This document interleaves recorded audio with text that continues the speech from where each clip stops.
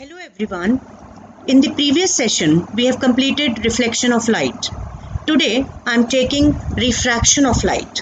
Refraction of light uh, is a process when light travels obliquely means at any angle.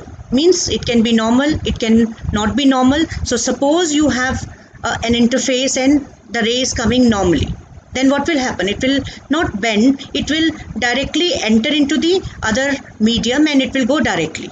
But if the ray is coming obliquely from one transparent medium to another it gets bent.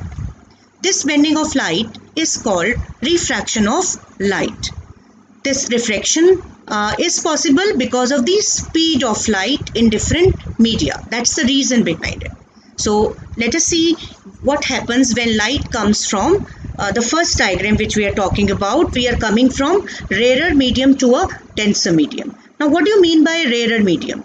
Rarer medium means which is optically rarer. Okay, it's not mass related uh, uh, rarer or denser medium. It is related to optical density. That means suppose you have water and colored water. Immediately your optical density will change. So we are talking about uh, a ray which is coming from rarer medium to a denser medium. So if a ray is coming obliquely, it will bend towards the normal. So originally the ray has to go like this, but when you will see the bending, it will be towards the normal because when we are coming from rarer medium, light was having more speed. When it when we enter in denser medium, the speed reduces. So that is why this is the reason behind it. Now if you make a normal and see angle R and angle I, you can see that angle I is not equal to R. It will be less than that. But when we are coming from denser medium to the rarer medium, then originally we have to go like this. But when we have denser to rarer medium, the speed of light will increase. Hence, it will bend away from the normal. So you can see the angle made here will be greater than angle I. That means now what you have seen here, this is the angle of incidence and the angle shown here is the angle of refraction. So it's not like reflection of light they, where angle I is equal to R. We are following it in a different way because here the light enters from one medium to another and then it changes the path. Now uh, another example related to refraction of light is rectangular glass slab. Now, if I show you a real gla uh, glass slab in the next slide, uh, before that you just see what happens when we take a glass slab. Glass slab is made up of uh, pure glass. That is why it is glass slab. And it's like a slab, so we call it as glass slab. Now, when we come from this air part and then we enter to glass and then we come to air we have to bend twice at the air glass interface and at the glass air interface. That means we will have double refraction. Uh, first refraction will, will be from air to glass, then the refraction is from glass to air. And I think you have understood now that it is a rarer medium and this is a denser medium. And from denser medium, then we come to rarer medium. So what will happen? When the ray of light enters from rarer to denser medium, uh, uh, the ray will bend towards the uh, uh towards the normal. And when it comes from denser to rarer medium then it will be away from the normal. So uh, uh, this is what we see here. This is the incident ray. It actually has to go like this but because of glass it bends towards the normal and comes out. And you can see how it comes out. It has become parallel to the incident ray. And this particular um, phenomenon is known as the uh, lateral displacement you can see. So here you can see they have become parallel. Uh, this line and this line they have become parallel which was the original incident ray and the emergent ray. Now we have uh, actually called, uh, made into two groups. One is the refraction line and the other is the emergent line. Means both are refraction but this is the second refraction. Second refraction ray is called the emergent ray. So this ray is known as emergent ray and this known uh, ray is known as refracted ray. Now if you make a normal and there is an angle of incidence there once again you can compare both of them. You just see this is an angle of incidence this is the angle of refraction which is smaller than that. Now we come to angle of emergence uh, in the last here. And we will see uh, practically that angle I is always equal to angle E. And there is a lateral displacement. There are two conclusions. Angle I is equal to E and the emergent ray is always parallel to the incident ray and there will be displacement which is known as lateral displacement.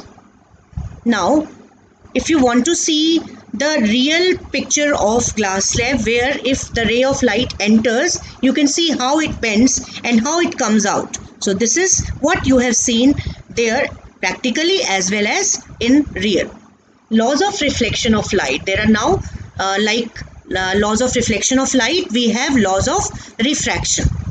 First law is similar to the law of reflection. The incident ray in place of reflected ray now refracted ray has come and the normal to the interface of true transparent media now you have uh, written another word added to it at the point of incidence all lie in the same plane and second law is given by Snell's so Snell gave the law and this is known as Snell's law ratio of sine of angle of incidence to the sine of angle of refraction is always constant. So if you take suppose angle of I is 30 degree and R is suppose 20 degree you will take sine of angle I upon sine of angle R and then the value will come. The value will be a constant value every time if you get the same uh, angles you will get the same uh, pair and you will get the same constant now, if you look at here, for a given light of any color, that means for a particular color and particular media, it will be same. If you will change the media, immediately the answer for uh, sine i upon sin r will also change. So, it is only for a given pair of media. Suppose you take air and glass, suppose you take air and water, like that it will vary. But if you will take the same media, you will have a constant value. This constant is also known as refractive index. Okay, and which will be symbolized with N21. That means if you are coming from medium number 1 to medium number 2, then the refractive, refractive index uh, with respect to 2 will be this. Now we are categorizing refractive index in two ways. One is this and the other is the ratio of n with speed of light in air and speed of light in medium. So you can see refractive index uh, has a variety which is known as the absolute refractive index which is a ratio of speed of light in air or vacuum to the speed of light in the medium. So if you write C here, your value will become fixed. It will be 3 raised uh, 3 into 10 raised to power 8 meter per second. But if you look at the denominator, then V will vary with respect to the medium. Now, if you write this relationship, it is directly proportional to the optical density. More the optical density of the medium and more is the refractive index. More is optical density, so that's why we have written and compared it with refractive index. Now, it is inversely proportional to the speed of light in medium. If you have more uh, refractive index, you will see that speed of light will start reducing. Now, you can see uh, the relationship of relative refractive index which is between medium number 2 to medium number 1 like we have compared C upon V but there C is fixed here you can change medium number 1 and medium number 2 and you can write it as n21 which is equal to either in the form of speeds or in the form of refractive index. So if you are writing in the uh, form of speed of light in medium 1 and speed of light in medium 2, you will write it as V1 upon V2. And if you are writing it in the form of uh, speed of light related to refractive index then n2 upon n1 where N2 means refractive index of medium number 2. N1 is the refractive index of medium number 1. Now it's a table from your book. You can see we are starting from air and we are finishing our table with diamond. So as you come down from air to diamond, you will see that the value is increasing. This value is refractive index value.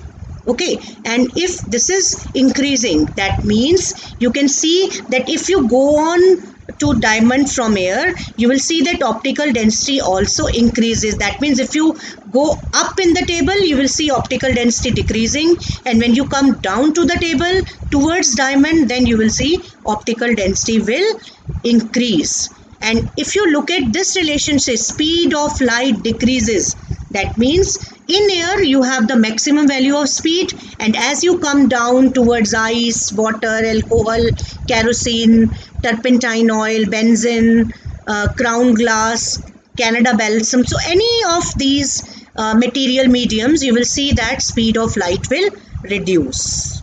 So that's how we are comparing the two media relative refracting index as well as the uh, absolute refracting. That's all for refraction through the glass slab and the medium. I will come uh, next to the next topic of lenses in the next session.